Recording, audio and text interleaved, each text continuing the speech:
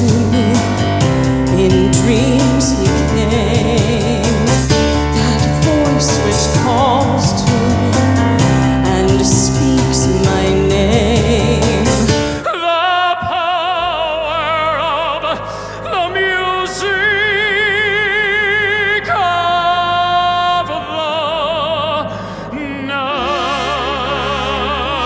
Their real life love story started on the Broadway stage. Tonight we are talking to a power couple. Sandra Joseph and Ron Bohmer are living out a real life fairy tale. I want to know about the romance. How did it happen?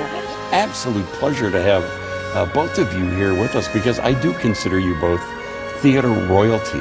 You have what has been for me a message that I think so many others can relate to. I met Sandra Joseph on the stage of the Kennedy Center Opera House in Washington, D.C. And within minutes of having our first conversation, we began to inhabit these roles. We were rehearsing the famous underground lair scene. So here's Ron Bohmer and Sandra Joseph on the stage of America's Opera House pretending to be the Phantom and Christine.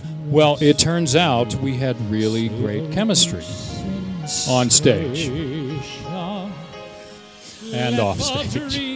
And a few years after this photo was taken, this photo was taken. Share each day each night, each morning. Here I am auditioning for a show about a man who wears a mask, and I'm walking in there wearing a mask myself. This time I said, I only have one goal to drop the mask. You know, we're always looking for the ring of truth in other people, whether it's me playing a role or you sitting down with a prospective client. It's our authenticity that creates connection.